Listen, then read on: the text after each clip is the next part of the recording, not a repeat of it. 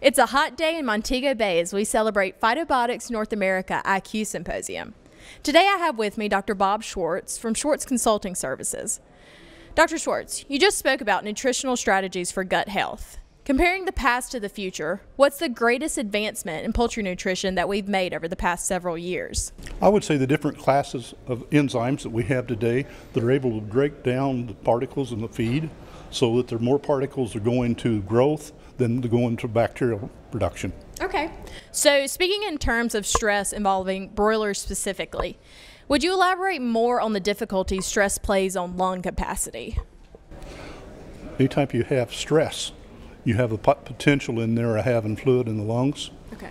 And a lot of lung diseases in through there just from, from stress. From stress, okay. And can you share an experience you've had with using Sangrovit? Well, I've used Sangrovit in the field in there with, with Peco broilers, and we're able to get better intestinal integrity.